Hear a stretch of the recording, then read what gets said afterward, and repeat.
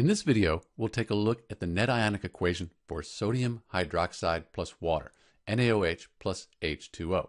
So when we do this here, we're going to start with solid sodium hydroxide. It comes in kind of pellets that you can drop in the water, and the water will be a liquid. So the question is, when we put the sodium hydroxide solid in water, will it dissolve?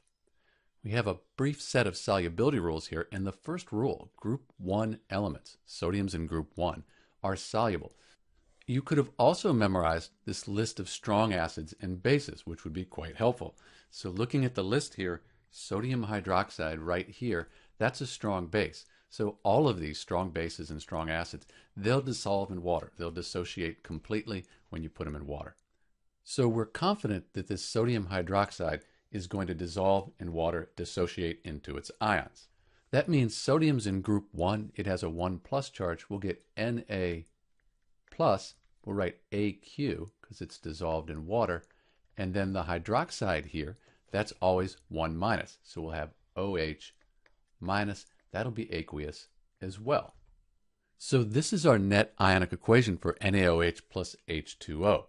You'll see that we have water here and it doesn't show up on this side. It actually does because this aqueous means dissolved in water. So we do have water on both sides. Sometimes you'll see the H2O here put above the arrow to show that it's involved in this dissolution, this dissolving here, but it's not chemically changed. Either way, this is the net ionic equation for NaOH plus H2O, and this is Dr. B. Thanks for watching.